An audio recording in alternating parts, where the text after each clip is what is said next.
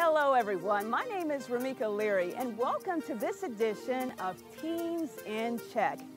Have you ever wanted to be someone else, maybe have what they possess? There's definitely a danger in this. Today, we're going to talk about a familiar word, playa. I'm not talking about player, P L A Y E R, someone on a football team or on a basketball team. Instead, I'm referencing playa, spelled P L A Y A. This is someone who goes about achieving the things they want in all the wrong ways. And the Bible speaks clearly against this.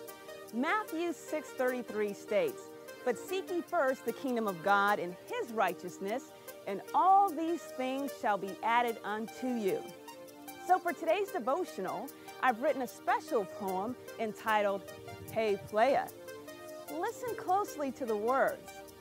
It goes like this.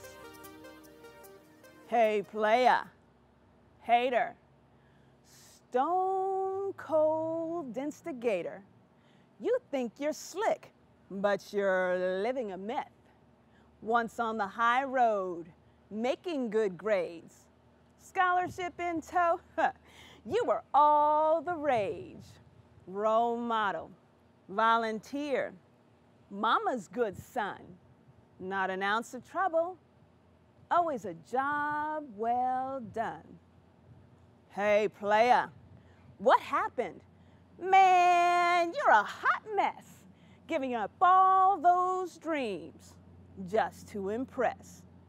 Temptation, money, the so called glamorous life, thugging, drug running, even wielding a knife. Hey, playa, wake up you think you're oh so cool? Pants below your waist, foul mouth, but you're acting a fool.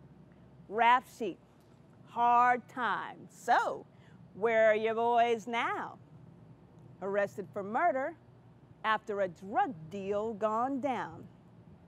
Hey, playa, hater, change your wicked ways. Once mama's good son, now one foot in the grave.